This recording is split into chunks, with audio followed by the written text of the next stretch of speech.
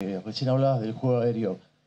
Eh, la inclusión de Borges y de Rondón juntos, eh, ¿era un poco la herramienta que buscabas en una cancha de este estilo? Con el juego aéreo, tratar de sacar alguna ventaja por ahí. Sí, también, total. Por eso con, Andrés la idea era llegar y poder tener centro, con Elías que centra también muy bien, tiene mucho centro y bueno, con, dos jugadores de un poder ofensivo aéreo muy importante como Miguel y, y Salomón en ese uno contra uno contra los eh, centrales rivales, la idea era un poco eso. Bueno, no, resultó porque creo que no, no vimos mucho de eso.